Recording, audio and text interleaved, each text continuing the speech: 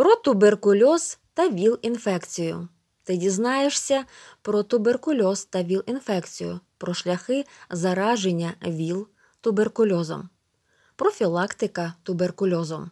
Туберкульоз хвороба, на яку люди хворіють уже кілька тисячоліть. Здавна відомо, що туберкульозом заражаються один від одного. У 1882 році це стало науково доведеним фактом. Німецький вчений Роберт Кох відкрив збудника туберкульозу. Пізніше цей збудник назвали паличкою коха, а тепер її називають мікобактерією туберкульозу. Туберкульоз від латинського слова, що означає гулька, горбик, інфекційне захворювання легень, кісток та інших органів, збудником якого є бактерія паличка коха. На уражених тканинах з'являються горбики, інша назва хвороби сухоти. Стійкість мікобактерій у навколишньому середовищі вражає, вона легко переносить холод, спеку, не гине при висушуванні. При температурі мінус 20 мікобактерія туберкульозу зберігає життєздатність протягом 7 років. Вона добре витримує нагрівання до плюс 85 градусів і охолодження до мінус 200. Особливо сприятливим для неї є вологе, непровітрюване приміщення, де багато пилу. Але ультрафіолетові промені частина сонячного світла вбивають мікобактерію туберкульозу через 2-3 хвилини. Цікаво знати, що сонячне світло складається з усіх кольорів веселки та невидимих променів. Інфрачервоні промені зігрівають нас, тобто передають тепло, а ультрафіолетові змінюють нашу шкіру, ми засмагаємо. Забагато такого випромінювання може шкодити організму людини, а деякі організми, наприклад, мікобактерії, гинуть. Раніше туберкульоз називали сухотами від слова ссихатися. Хворий наче ссихається через погіршення апетиту швидко худне. Сухий кашель виснажує, з'являється слабкість, біль у грудній клітці. Надвечір, як правило, підвищується температура тіла, мокротиння легенів містить кров, недуга поволі відбирає сили. Часто людина навіть не знає, що хвора, тому і не звертається до лікаря, але при цьому вже заражає інших. При чханні чи кашлі збудники туберкульозу потрапляють у зовнішнє середовище. Вони можуть передаватися також пиловим способом. Засохлі крапельки мокротиння потрапляють у пил на підлозі, предметах, у повітрі. Колись хворобу погано діагностували на ранніх стадіях, і на той час не було ефективних ліків. Факти багато відомих людей страждали від цієї страшної недуги. Леся Українка, Антон Чехов, Максим Горький, Нікола Поганіні, Фредерик Шопен. У 1993 році ВООЗ проголосила туберкульоз глобальною небезпекою, тому що різко збільшилися темпи захворюваності. Спеціальний метод обстеження флюорографія проводиться безкоштовно. В Україні на лікування одного хворого на туберкульоз витрачається близько 5 тисяч гривень. 24 березня Всесвітній день боротьби з туберкульозом. Час знайдено дієві способи протистояти хворобі. Розроблено програму боротьби з туберкульозом. Немовляті ще в пологовому будинку роблять щеплення проти туберкульозною вакциною, що до 7 років убезпечує дитину від хвороби. Для своєчасної діагностики туберкульозу всім дітям віком до 14 років щороку безкоштовно проводять пробу манту за ім'ям винахідника французького вченого манту. Перед проведенням проби тебе має оглянути лікар і врахувати всі протипоказання, не тільки хронічні недуги, а й легкий нежить чи кашель. Медичні працівники обов'язково мають отримати згоду твоїх батьків. Проба манту це поки що єдиний дієвий метод ранньої діагностики туберкульозу. За результатами цієї проби лікар може направити на додаткову консультацію. Дорослі мають раз на рік проходити рентгенологічне обстеження флюорографію, яка дозволяє помітити початок хвороби. Щеплення один з найкращих шляхів усунення ризику захворювання на туберкульоз. Майже всі дорослі, хоча б раз у житті стикалися з мікобактеріями туберкульозу. Проте в здоровому організмі мікобактерії пригнічуються імунною системою і знаходяться у сплячці.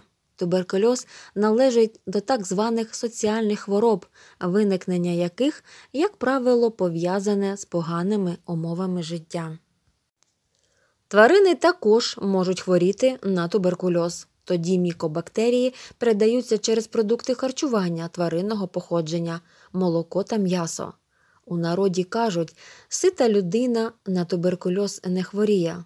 Отже, якщо людина добре харчується, має нормальні побутові умови, імунна система її організму, як правило, справляється з інфекцією.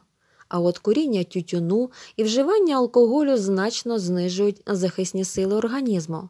Найбільший ризик захворіти туберкульозом є у хворих на алкоголізм, наркоманію, безпритульних людей, які перебували в місцях позбавлення волі. У ВІЛ інфікованих ця хвороба прогресує дуже швидко. Факти у всьому світі туберкульоз залишається однією з найсерйозніших проблем. Від цієї хвороби щорічно вмирає людей більше, ніж від сніду, малярії та інших інфекцій разом узятих. Про епідемію туберкульозу в нашій країні було оголошено у 1995 року. Найвищі показники захворюваності спостерігаються в південно-східних регіонах України Херсонській, Луганській, Миколаївській, Донецькій, Харківській і Запорізькій областях. До 70% випадків захворювань на туберкульоз виявляється у хворих на алкоголізм, наркоманію та безпритульних. Якщо імунітет знижується, то мікобактерії починають активно розмножуватися та руйнувати організм людини. Туберкульоз може уражати різні органи і тканини людини кістки, очі, шкіру, нирки тощо, але частіше органи дихання. Щоб не захворіти на туберкульоз, слід вести здоровий спосіб життя, регулярно відпочивати, виконувати фізичні вправи, не курити, не вживати алкоголь, наркотики та токсичні речовини, уникати контактів із хворими на туберкульоз бездомними тваринами. Користуватися тільки особистими предметами гігієни, намагатися, щоб їжа була поживною, багатою на вітаміни, білки, жири, вуглеводи та мінеральні речовини, не вживати продукти, куплені на стихійних ринках, бо вони можуть бути заражені мікобактеріями туберкульозу, регулярно робити вологе прибирання та провітрювати житло, робити щеплення. Це допоможе в житті. Будь обережний, туберкульоз не соціальна небезпечна інфекційна хвороба. Дотримуйся правил профілактики, роби щеплення, веди здоровий спосіб життя. Хворобу завжди легше попередити, ніж лікувати.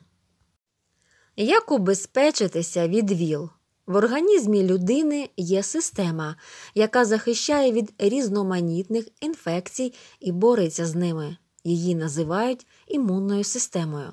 Вірус імунодефіциту людини ВІЛ поступово руйнує цю систему захисту. Навіть легка застуда дуже небезпечна для ВІЛ інфікованого, адже імунітет хворого послаблений вірусом і організм не бореться із захворюванням.